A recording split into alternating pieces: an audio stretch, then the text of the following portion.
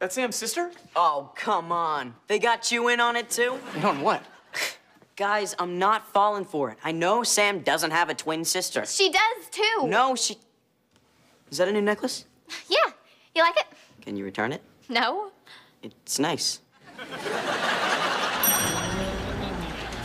Hi. Hey, Melanie. Oh, give me a break. Wow, I don't think I've seen you since the seventh grade. I know. Hi, Spencer. Hey, kid.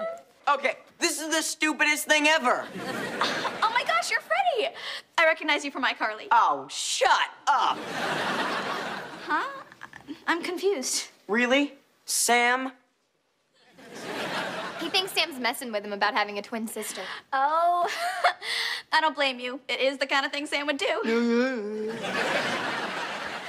you know, one time, she tried to convince me I was adopted. Uh-huh.